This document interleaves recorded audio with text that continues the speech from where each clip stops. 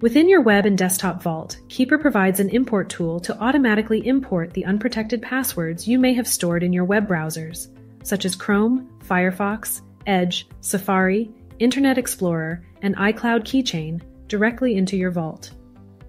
If you signed up for Keeper on your mobile device, you can access the import tool on your computer by visiting keepersecurity.com forward slash vault and logging in using your email address and master password.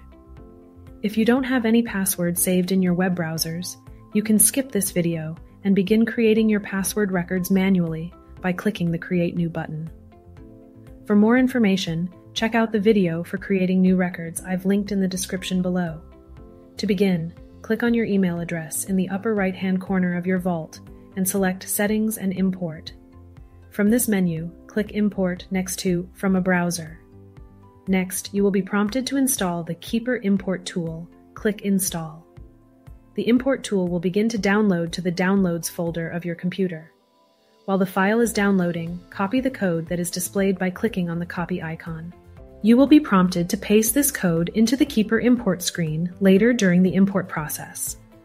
Once the file has finished downloading, open it. If you are on a Mac computer, you may be prompted to enter your system password and enable certain accessibility settings. Whether you are on a Mac or Windows computer, when prompted, paste the code into the field provided, then click Import. Returning to your vault, you will see all of the passwords that Keeper could find on your local web browsers. Review the logins and passwords, and if necessary, deselect any you don't want to include in your Keeper vault. Click Add to Keeper to proceed.